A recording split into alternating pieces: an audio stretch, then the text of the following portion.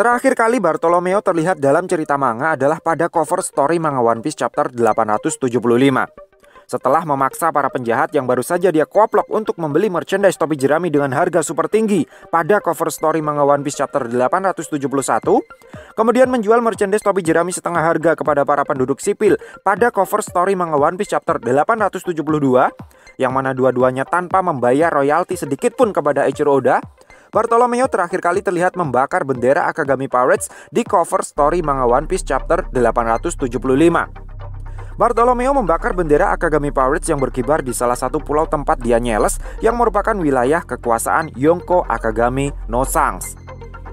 Mungkin tidak sedikit dari kalian yang berpikir kalau cerita cover story adalah cerita non-canon, karena pada saat yang bersamaan sama sekali tidak berhubungan dengan cerita utama. Tapi jika kita melihat kembali cerita cover story-nya Jinbe mulai dari chapter 751 hingga chapter 785 dan juga cover story-nya Karibo dari chapter 674 hingga chapter 731 yang sudah terbukti top chair nyambung dengan cerita utamanya, maka besar kemungkinan cerita pada cover story One Piece yang lain sebenarnya juga adalah mini spin-off. Jadi suatu saat nanti ceritanya akan nyambung dengan timeline cerita utamanya. Tidak terkecuali dengan cover story-nya Bartolomeo ini. Jadi apa yang dilakukan oleh Bartolomeo pada cover story manga One Piece chapter 875 besar kemungkinan akan memiliki korelasi dengan alur cerita One Piece ke depannya. Yang mana hal itu kemungkinan besar akan menjadi salah satu pemicu, salah satu alasan untuk mempertemukan kembali Luffy si topi jerami dengan Akagami no Sangs. Nah, membakar bendera Akagami memang tidak melukai fisik salah satu nakamanya Sangs, tapi itu justru bisa melukai seluruh anggota Akagami Pirates. Apa yang dilakukan oleh Bartolomeo itu bisa diartikan sebagai propaganda untuk mendeklarasikan perang melawan Akagami Pirates. Jadi, apa pun alasannya, siapa pun orang di belakang Bartolomeo tetap saja tidak akan membuat kelakuannya tersebut ditolerir oleh Akagami. Tidak peduli Sangs tahu kalau Bartolomeo adalah subordinatnya Luffy atau tidak, Sangs pasti akan tetap mengoplok si jambul ayam, entah dengan tangannya sendiri atau hanya dengan menyuruh salah satu anak buahnya. Atau malah anak buahnya Sangs sendiri yang punya inisiatif untuk mencari dan mengoplok Bartolomeo.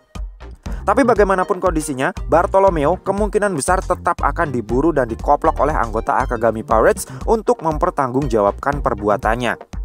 Nah, yang jadi pemikiran kami, Mungkin gak sih kalau Akagami akan membakar Bartolomeo hidup-hidup sebagai balasan karena dia telah membakar bendera kebanggaan kelompok bajak laut mereka? Bayangan kami seperti ini.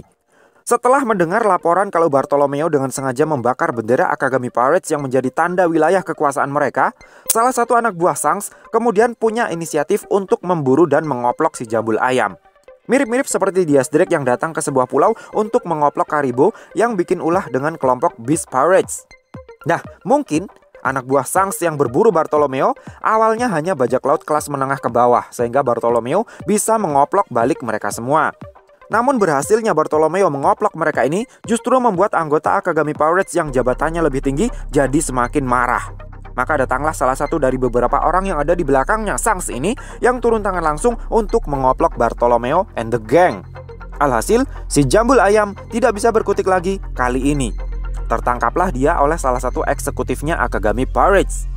Kemudian, seperti yang kami bilang di awal tadi, anak buah Sangs ini mungkin akan mengikat Bartolomeo dan para anak buahnya di sebuah tiang pancang, lalu berniat membakar mereka hidup-hidup seperti yang dilakukan oleh para marinir G5 terhadap Karibo pada cover story manga One Piece chapter 683. Sebagai hukuman karena Bartolomeo and the gang sudah berani membakar bendera Akagami Pirates. Bakar-bakar dibalas dengan bakar-bakaran.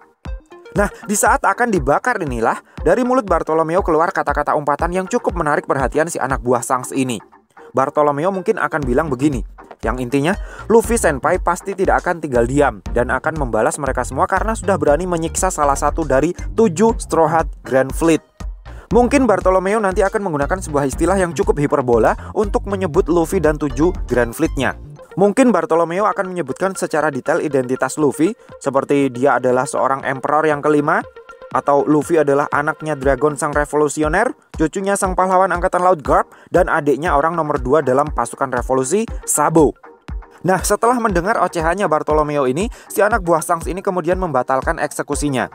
Bartolomeo pikir anak buah Sangs pasti takut mendengar nama besar Luffy si topi jerami, makanya mereka membatalkan niat mereka untuk mengeksekusinya. Namun yang sebenarnya terjadi, si anak buah Sangs ini ingin membawa Bartolomeo and the gang ke hadapan Sangs untuk meminta perintah langsung tentang apa yang harus dia lakukan terhadap seorang bajak laut sembrono yang mengaku sebagai anak buahnya Luffy si topi jerami ini. Dan kejadian menarik yang lebih tidak terduga lagi terjadi.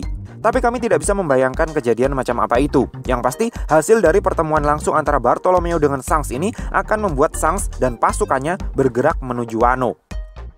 Menurut bayangan kami sih seperti itu. Karena sepertinya masing-masing Kapten Seven Straw Hats Grand Fleet memegang secuil Vivre Card-nya Luffy.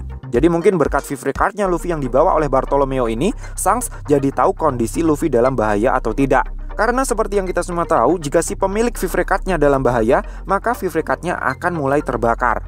Semakin besar bagian yang terbakar, semakin gawat kondisi si pemilik Vivre Card. Jadi mungkin ketika terlihat Vivre Card-nya Luffy mulai terbakar, Sangs dan pasukannya akan bergerak menuju Wano dan langsung menuju ke tempat Luffy berada. Sementara hukuman untuk Bartolomeo ditangguhkan sampai batas waktu yang belum pasti. Kejadian semacam ini mungkin saja terjadi mengingat Bartolomeo sepertinya juga memiliki level keberuntungan yang tidak kalah hoki dengan Lord Buggy dan God Usopp. Bayangkan saja, Bartolomeo berlayar di lautan New World yang terkenal memiliki kondisi lautan yang sangat ganas tanpa menggunakan jasa seorang navigator. Setiap kali ada masalah di dalam pelayaran mereka, Bartolomeo hanya menelpon neneknya yang ada di kampung halaman untuk meminta nasihat dan solusi. Dan dengan cara berlayar yang seperti itu, Barto Club masih selamat, utuh tanpa kurang suatu apa pun sampai sekarang. Gila nggak tuh? Nah, terkait dengan alasan untuk apa Sangs datang ke Wano, itu sudah lain lagi urusannya. Mungkin Sangs akan ikut nimbrung dalam perang terbesar yang ingin dikobarkan oleh Kaido dan Big Mom yang konon katanya akan melibatkan Ancient Weapon. Mungkin Sangs hanya akan menonton dan mengawasi jalannya pertandingan, kemudian menemui Luffy untuk memberikan salinan Red Poneglyph terakhir kepada Luffy setelah Luffy berhasil mengalahkan Kaido dan merebut salinan Red Poneglyph yang ketiga yang ada di Onigashima. Sesuai dengan dua video teori kami yang sebelumnya yang berjudul Tugas Terakhir Roger untuk Sangs dan tidak ada The Next Topi Jerami, tapi lima orang ini akan ikut Luffy pergi ke Laugh Tale. Atau mungkin bisa juga Sangs akan menjaga area pertarungan agar tidak ada pihak ketiga yang ikut campur. Entah itu kelompok Kurohige yang ingin memancing di air yang keruh atau pasukan marin yang tidak jelas tujuannya apa. Everything is possible. That's why I love to share a theory. So, piye menurut mecah? Terima kasih sudah mampir ke channel kami. Jangan lupa like, share, dan subscribe jika menurut kalian video-video kami cukup menarik untuk ditonton. Sampai ketemu lagi dalam video kami yang berikutnya. And matur nuwun.